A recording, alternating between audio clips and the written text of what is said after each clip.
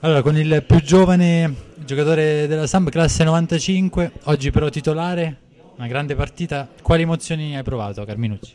Eh, una- tante emozioni, eh, un po' sì, tante emozioni e poi a vedere questa cornice di pubblico è stato una grande emozione, veramente. Senti, parliamo un po' della, della tua carriera prima di arrivare nella prima squadra, tutte le trafile nel, nel settore giovanile, e fino a questo esordio, il tuo ruolo, quello di terzino destro, è un ruolo naturale o magari sei stato adattato? No, eh, cioè sono stato adattato, prima facevo il centrale, poi con la juniores sono passato a destra, poi a sinistra, però il mio ruolo vero è quello centrale, però sono stato adattato a destra, mi piace farlo, niente.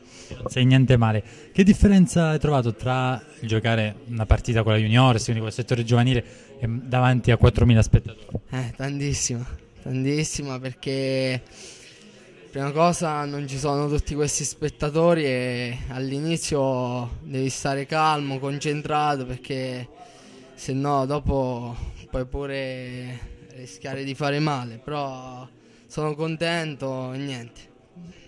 La tua marcatura su negro, insomma, all'inizio eh, di telecronaca dicevamo un osso duro perché comunque un giocatore di categoria, alla fine te la sei cavata, la sei cavata bene. Sì, ripeto che negro secondo me è sprecato per queste categorie, potrebbe fare il professionismo semplicemente, però oggi forse lui è capitato una giornata no, io in una giornata sì e niente.